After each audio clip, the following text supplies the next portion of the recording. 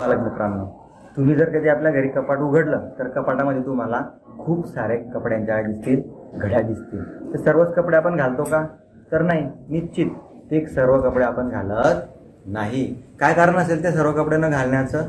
तर ते सर्व कपडे घालण्याचं कारण एकच की वयानुसार आणि उंचीनुसार आपले काय असतात? कपडे बदलत असतात.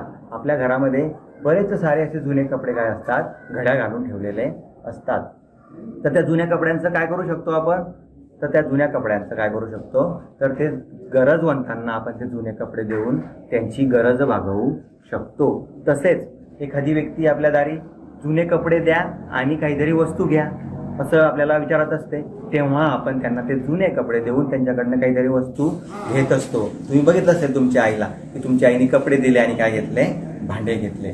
तसेच त्या जुन्या कपड्यांचा वापर आपण आपल्या घरात सुद्धा पुसण्यासाठी असा बऱ्याच प्रकारे आपण त्यांचा वापर करू शकतो. तर मग बघा हे जुने कपडे आपण बाहेर न फेकता अशा पद्धतीने त्यांचा आपण योग्य वापर अनेक पद्धतीने करू शकतो.